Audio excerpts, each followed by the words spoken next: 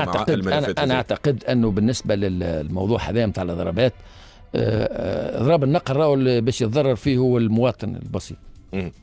المواطن اللي باش يلقط في خبز هو اللي باش يتضرر فيه. وأعتقد أنه المركزية النقبيه مطالبة أن تراجع بعض بعض الأشياء. آه، لأنه في النهاية هذا المسار قد يضر بالاتحاد العام التونسي للشغل. علاش؟ لأنه في النهاية آه، على المركزية النقابية أن تعي انه اتحاد 2023 آه، مش اتحاد 70 مش اتحاد 80 مش اتحاد 2013 هناك واضح تراجع كبير في قوة الاتحاد وعلى التجيش وعلى الاقناع علاش؟ كيفاش لاحظتوه هذا؟ والله هذا هذا نشوفوا فيه هذا موجود. الآن عندما إحنا موجودين في الشارع ونسمع الناس نسمع الناس ونسمع تعليقاتهم فهمتني؟ آه موجود هذا.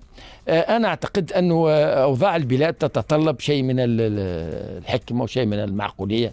آه أن تعلن انت عندك مطالب في بعض الحالات الدولة غير قادرة أن توفاها. حتى الحكومة الجاية بعض المطالب غير قادرة أن توفاها.